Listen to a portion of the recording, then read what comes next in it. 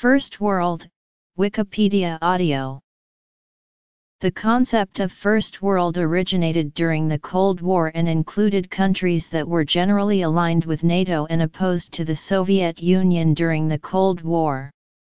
Since the collapse of the Soviet Union in 1991, the definition has instead largely shifted to any country with little political risk and a well-functioning democracy, rule of law, capitalist economy, economic stability, and high standard of living. Various ways in which modern first world countries are often determined include GDP, GNP, literacy rates, life expectancy, and the Human Development Index. In common usage, as per Merriam-Webster, First World now typically refers to the highly developed industrialized nations often considered the westernized countries of the world. After World War II, the world split into two large geopolitical blocs, separating into spheres of communism and capitalism.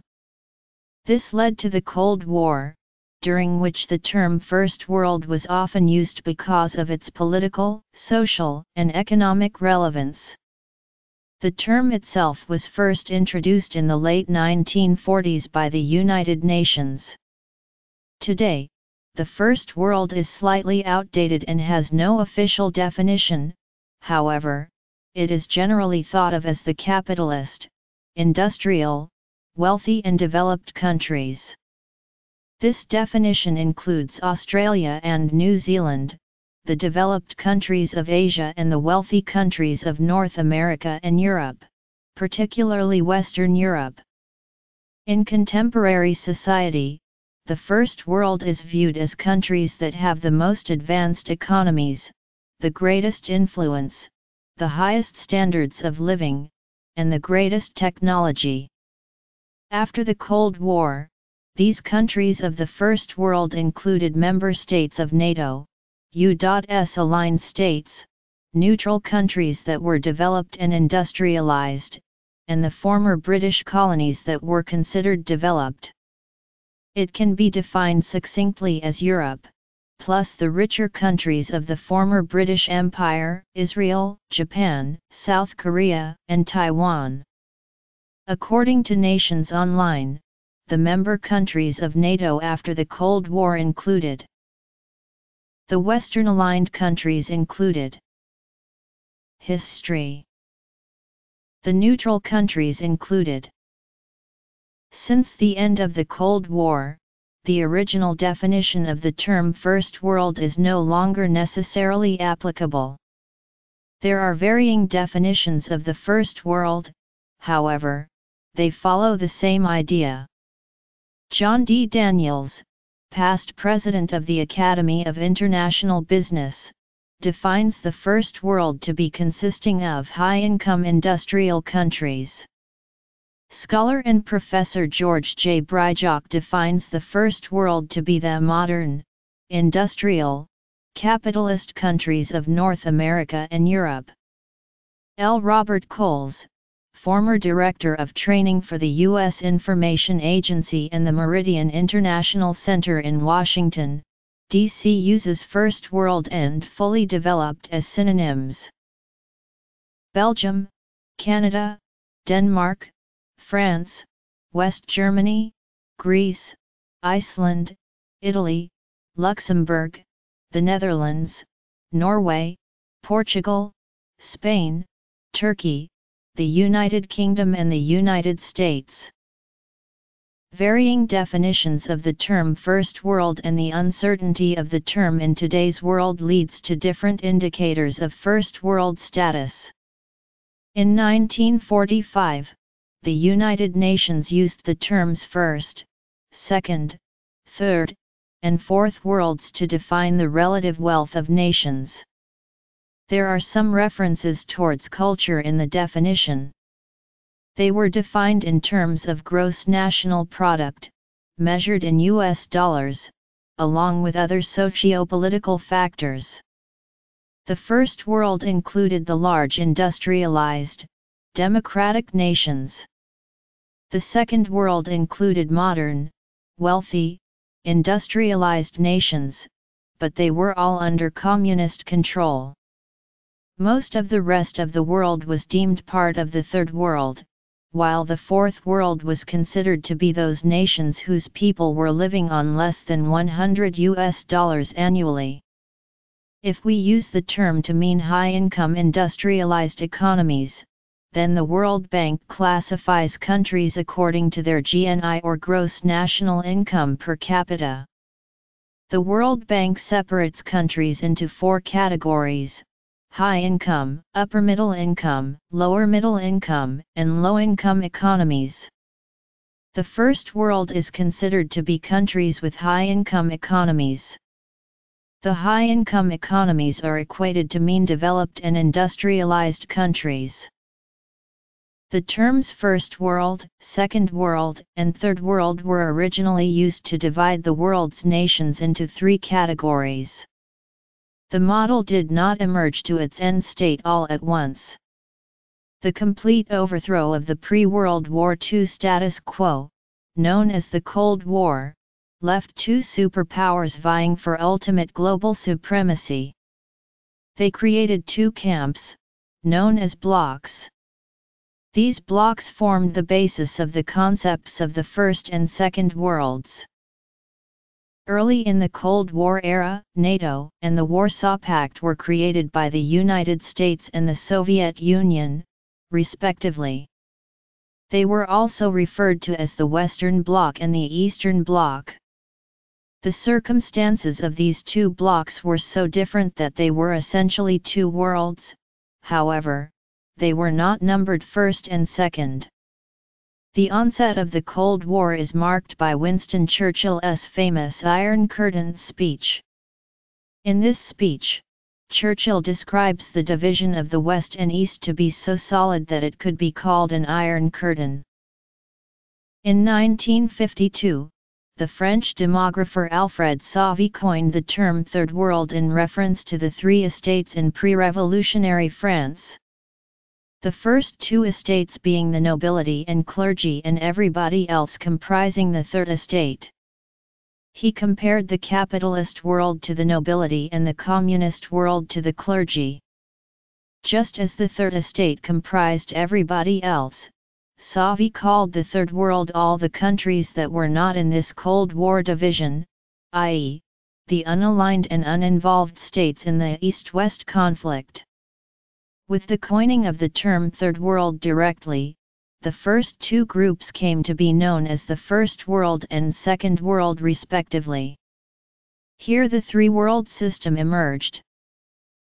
However, Shuswap chief George Manuel believes the three-world model to be outdated.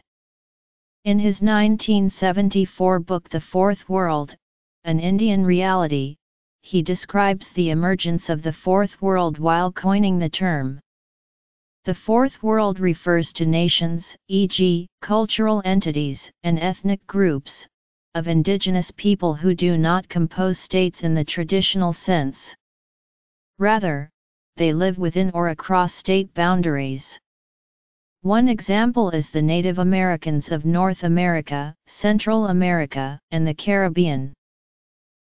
Israel, Japan, South Korea, Taiwan, Australia, New Zealand. With the fall of the Soviet Union in 1991, the Eastern Bloc ceased to exist and with it, the perfect applicability of the term Second World.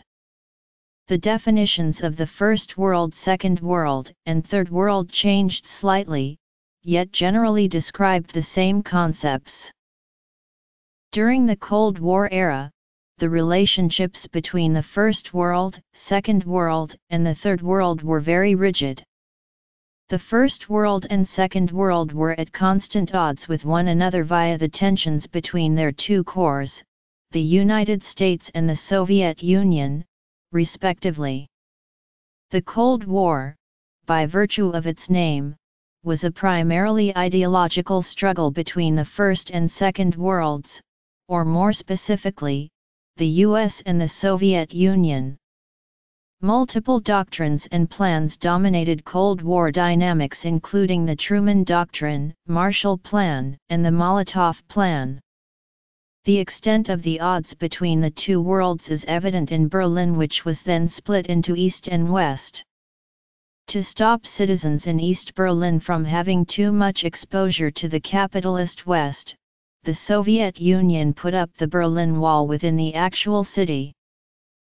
Austria, Finland, Ireland, Sweden, and Switzerland. Shifting in definitions. The relationship between the First World and the Third World is characterized by the very definition of the Third World. Because countries of the Third World were non-committal and non-aligned with both the First World and the Second World, they were targets for recruitment. In the quest for expanding their sphere of influence, the United States tried to establish pro-US regimes in the Third World. In addition, because the Soviet Union also wanted to expand, the Third World often became a site for conflict. Some examples include Vietnam and Korea. Success lay with the First World if at the end of the war, the country became capitalistic and democratic, and with the Second World, if the country became communist. While Vietnam as a whole was eventually communized, only the northern half of Korea remained communist. The domino theory largely governed United States policy regarding the Third World and their rivalry with the Second World. In light of the domino theory, the U.S. saw winning the proxy wars in the Third World as a measure of the credibility of U.S. commitments all over the world. The movement of people and information largely characterizes the interworld relationships in the present day. A majority of breakthroughs and innovation originate in Western Europe and the US and later their effects permeate globally. As judged by the Wharton School of Business at the University of Pennsylvania, most of the top 30 innovations of the last 30 years were from former First World countries. The disparity between knowledge in the First World as compared to the Third World is evident in healthcare and medical advancements. Deaths from water-related illnesses have largely been eliminated in wealthier nations, while they are still a major concern in the developing world. Widely treatable diseases in the developed countries of the First World, malaria and tuberculosis needlessly claim many lives in the developing countries of the Third World. 900,000 people die from malaria each year and combating malaria accounts for 40% of health spending in many African countries. The International Corporation for Assigned Names and Numbers announced that the first internationalized domain names would be available at the summer of 2010. These include non-Latin domains such as Chinese, Arabic, and Russian. This is one way that the flow of information between the first and third worlds may become more even. The movement of information and technology from the first world to various third world countries has created a general asper to first world living standards. The third world has lower living standards as compared to the first world. Information about the comparatively higher living standards of the first world comes through television, commercial advertisements, and foreign visitors to their countries. This exposure causes two changes, a living standards in some third world countries rise and b this exposure creates hopes and many from third world countries immigrate both legally and illegally to these first world countries in hopes of attaining that living standard and prosperity. In fact, this immigration is the main contributor to the increasing populations of US and Europe. While these immigrations have greatly contributed to globalization, they have also precipitated trends like brain drain and problems with repatriation. They have also created immigration and governmental burden problems for the countries that people immigrate to. Some have argued that the most important human population problem for the world is not the high rate of population increase in certain third world countries, but rather the increase in total human impact. The per capita impact the resources consumed and the wastes created by each person is varied globally, the highest in the first world and the lowest in the third world, Inhabitants of the US, Western Europe, and Japan consume 32 times as many resources and put out 32 times as much waste as those in the Third World. However, China leads the world in total emissions, but its large population skews its per capita statistic lower than those of more developed nations. Other indicators 3 World Model as large consumers of fossil fuels, first world countries drew attention to environmental pollution. The Kyoto Protocol is a treaty that is based on the United Nations Framework Convention on Climate Change, which was finalized in 1992 at the Earth Summit in Rio.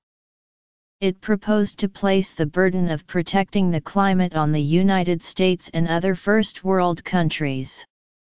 Countries that were considered to be developing, such as China and India, were not required to approve the treaty because they were more concerned that restricting emissions would further restrain their development. Stability of institutions guaranteeing democracy, the rule of law, human rights, and respect for and protection of minorities, the existence of a functioning market economy as well as the capacity to cope with competitive pressure and market forces within the Union, the ability to take on the obligations of membership including adherence to the aims of political, economic, and monetary union. Post-Cold War. Relationships with the other worlds. Historic. Present. Environmental impact. Until the recent past, little attention was paid to the interests of third world countries. This is because most international relations scholars have come from the industrialized, first world nations. As more countries have continued to become more developed, the interests of the world have slowly started to shift. However, First world nations still have many more universities, professors, journals, and conferences, which has made it very difficult for third world countries to gain legitimacy and respect with their new ideas and methods of looking at the world. During the Cold War, the modernization theory and development theory developed in Europe as a result of their economic, political, social, and cultural response to the management of former colonial territories. European scholars and practitioners of international politics hoped to theorize ideas and then create policies based on those ideas that would cause newly independent colonies to change into politically developed sovereign nation states. However, most of the theorists were from the United States, and they were not interested in third world countries achieving development by any model. They wanted those countries to develop through liberal processes of politics, economics, and socialization, that is to say, they wanted them to follow the liberal capitalist example of a so-called first world state.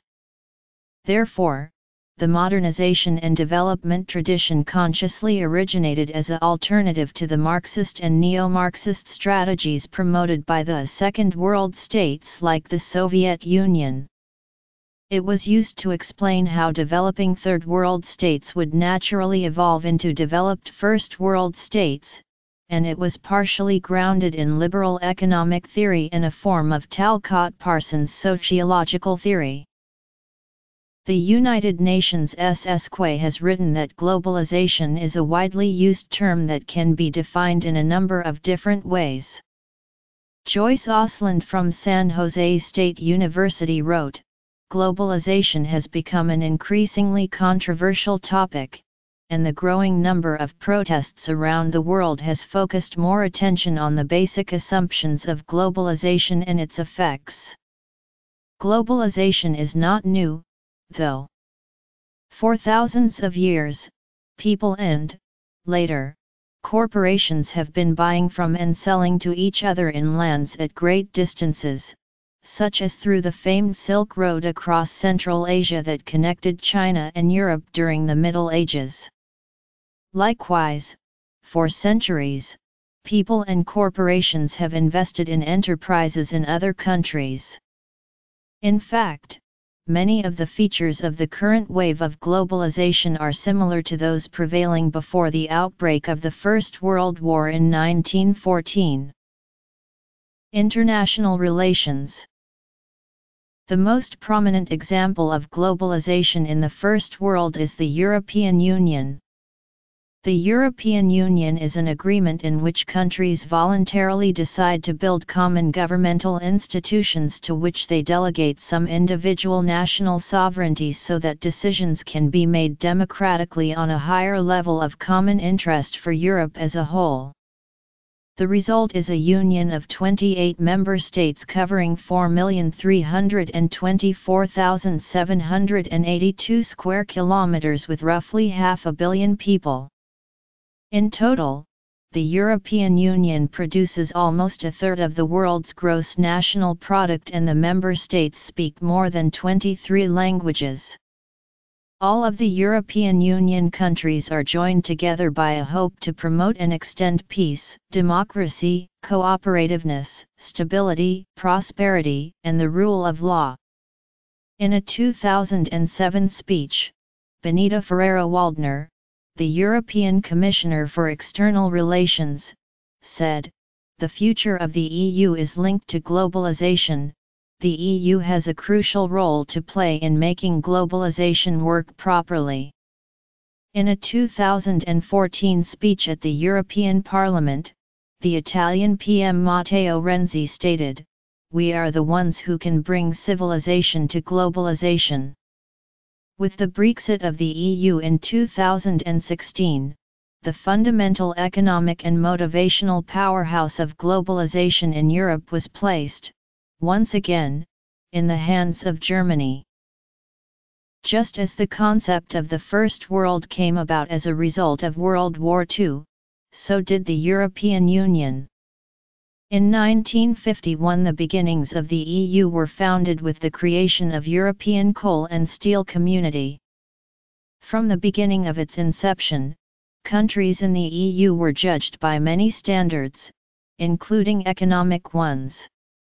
This is where the relation between globalization, the EU, and first world countries arises especially during the 1990s when the EU focused on economic policies such as the creation and circulation of the euro, the creation of the European Monetary Institute, and the opening of the European Central Bank. In 1993, at the Copenhagen European Council, the European Union took a decisive step towards expanding the EU, what they called the Fifth Enlargement, agreeing that the associated countries in Central and Eastern Europe that so desire shall become members of the European Union. Thus, enlargement was no longer a question of if, but when and how. The European Council stated that accession could occur when the prospective country is able to assume the obligations of membership, that is that all the economic and political conditions required are attained. Furthermore, it defined the membership criteria, which are regarded as the Copenhagen criteria, as follows. It is clear that all these criteria are characteristics of developed countries. Therefore, there is a direct link between globalization, developed nations, and the European Union. A majority of multinational corporations find their origins in first world countries. After the collapse of the Soviet Union, multinational corporations proliferated as more countries focused on global trade. The series of General Agreement on Tariffs and Trade and later the World Trade Organization essentially ended the protectionist measures that were dissuading global trade. The eradication of these protectionist measures, while creating avenues for economic interconnection, mostly benefited developed countries, who by using their power at GATT summits, forced developing and underdeveloped countries to open their economies to Western goods. As the world starts to globalize, it is accompanied by criticism of the current forms of globalization, which are feared to be overly corporate led. As corporations become larger and multinational, their influence and interests go further accordingly. Being able to influence and own most media companies, it is hard to be able to publicly debate the notions and ideals that corporations pursue. Some choices that corporations take to make profits can affect people all over the world. Sometimes fatally. The third industrial revolution is spreading from the developed world to some, but not all, parts of the developing world. To participate in this new global economy, developing countries must be seen as attractive offshore production bases for multinational corporations. To be such bases, developing countries must provide relatively well-educated workforces, good infrastructure, political stability, and a willingness to play by market rules. Development Theory If these conditions are in place, multinational corporations will transfer via their offshore subsidiaries or to their offshore suppliers, the specific production technologies and market linkages necessary to participate in the global economy. By themselves, developing countries, even if well educated, cannot produce at the quality levels demanded in high value added industries and cannot market what they produce even in low value added industries such as textiles or shoes. Put bluntly, multinational companies possess a variety of factors that developing countries must have if they are to participate in the global economy. Outsourcing, according to Grossman and Helpman, refers to the process of subcontracting an ever-expanding set of activities, ranging from product design to assembly, from research and development to marketing, distribution and after-sales service. Many companies have moved to outsourcing services in which they no longer specifically need or have the capability of handling themselves. This is due to considerations of what the companies can have more control over. Whatever companies tend to not have much control over or need to have control over will outsource activities to firms that they consider less competing. According to SourcingMag.com, the process of outsourcing can take the following four phases. Globalization Outsourcing is among some of the many reasons for increased competition within developing countries. Aside from being a reason for competition, many first world countries see outsourcing, in particular offshore outsourcing, as an opportunity for increased income. As a consequence, the skill level of production in foreign countries handling the outsourced services increases within the economy, and the skill level within the domestic developing countries can decrease. It is because of competition that Robert Feenstra and Gordon Hanson predict that there will be a rise of 15-33% in inequality amongst these countries. European Union Multinational corporations Outsourcing